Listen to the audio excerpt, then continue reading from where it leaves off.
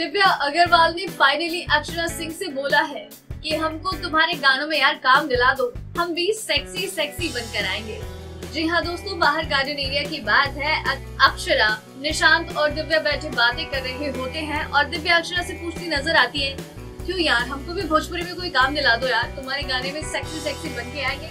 और तुम मुझे काम दिला दोगी ना अक्षरा? तो अक्षरा ने कहा ऑफ़ कोर्स या वाई नॉट तो यहाँ पर निशांत कहते नज़र आते हैं कि मुझे तो ऑलरेडी मिल गया कोरियोग्राफी का, और ये कि मैं डायरेक्ट करूँगा तो इस दौरान वो बात करते नज़र आते हैं कि बिग बॉस को ऐसी अपॉर्चुनिटी तो देनी चाहिए ना, कि लोगों को पता लगे कि हम कितने टैलेंटेड हैं, ताकि यहाँ से बाहर जाने के बाद हमारे पास काम की लाइन लग जाए।